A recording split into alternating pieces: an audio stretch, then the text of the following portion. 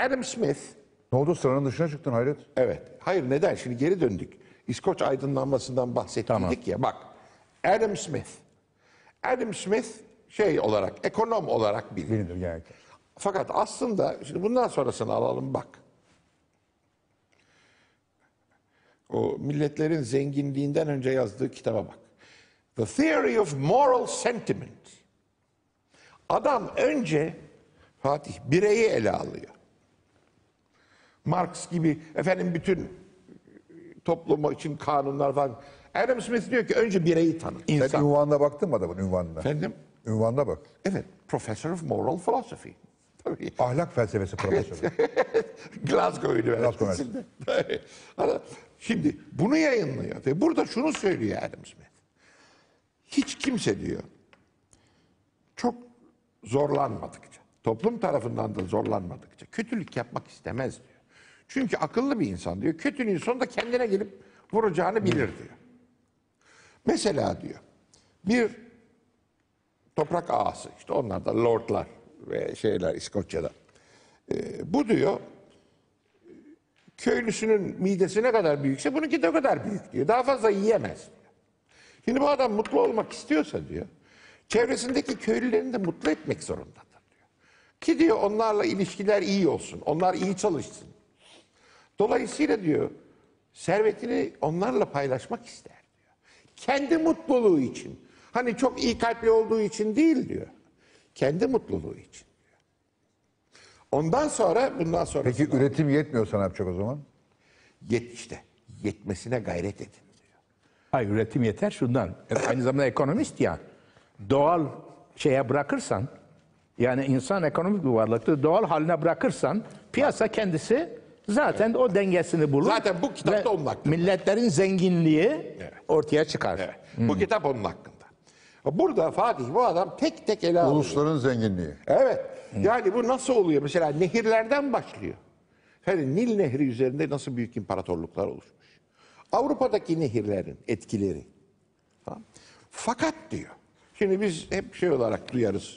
e, Adam Smith'i. Benim babam ikide bir de söylerdi. Laissez faire, laissez passer. Bırakınız yapsınlar, Bırak bırakınız geçsinler, geçsinler. Ha. Öyle değil. Adam Smith burada diyor ki devletin de diyor yapması gereken şeyler vardır. Bunlardan bir tanesi eğitimdir. Eğitim tamamen diyor özel ele bırakılamaz diyor.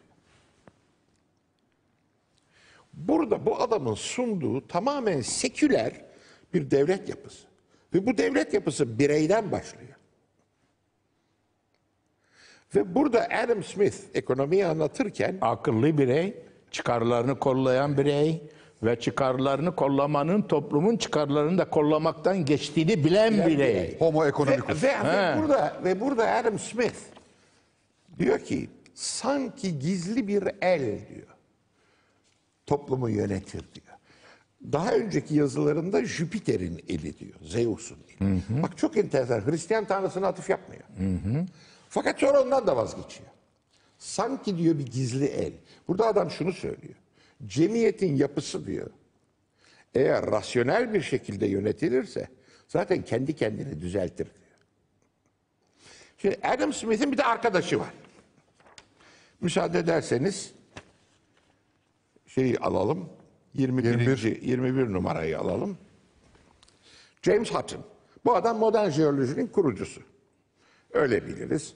İşte bak burada James Hutton yanında meşhur Joseph Black, meşhur kimyacı sohbet ediyorlar falan. Şimdi bundan sonrasını alayım bak ne çıkacak karşımıza.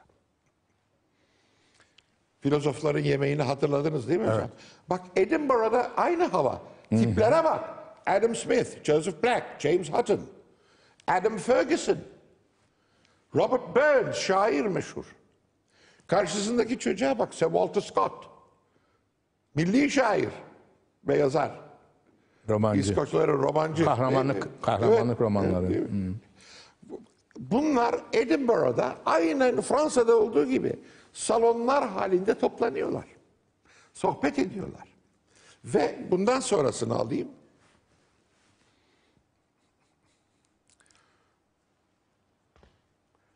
Bilginin prensipleri. Burada James Hutton alıyor, jeolog adam. Bildiğimizi nasıl biliriz sorusunuz. Evet. En önemlisi olan biridir. Abi müthiş. Bunu okuduğun zaman mesela human etkilerini görüyorsunuz hocam. Adam diyor ki bu diyor time varamla falan olacak iş değil diyor. İnsan diyor kendi aklını kullanır. Tabiata diyor Ama bu, da, bu bazı... soru da eski günlere kadar gitmiyor mu aslında? Ha? Bu soru da eski günlere kadar Tabii gitmiyor. tabii tabii. Presokratiklere gidiyor. İnsan diyor burada Aslında bütün felsefe aydınlanma. Aynen. Bak geldik oraya. Oraya, tabii oraya. Bütün felsefe aydınlanma. Burada diyor insan diyor tabiata çeşitli giysiler giydirir ama diyor bunların hepsi olmaz. E ne yapacak? O zaman diyor giysinin orasından burasından düzeltmeye başlar. Yani bir yerde Popper'in modelini sunuyor adam burada. Ben hayret ettiydim. Bu üç koca cilt hocam. Fatih hiç unutmuyorum ben Oxford'dayken Bodleian kütüphanesinden bu kitabı istedim. Geldi. Abi baktım kutu içinde kitap. Karton bir kutu. Dedim açtılar. Niye dedim kutu içinde? Ya dediler cildi çok harap. Kapaklar kopmuş. Onun için, e dedim ya kardeşim tamir ettirsenize ayıp değil mi dedim. Paramız yok dediler. Oxford Üniversitesi'nin ana kütüphanesi söylüyor. Dedim kardeşim ne kadar bunu tamir et? O- Onu da sen mi yaptın? Şimdi hocam Büyük adamsın. ne kadar dedim bu. E dediler bu eski kitaba. Bu dediler bin pound'a olur. Dedim hemen verebilirim. Oxford'da bin poundu yok mu yoksa oraya arayacağı bin poundu mu yok? Ha, bilmiyorum.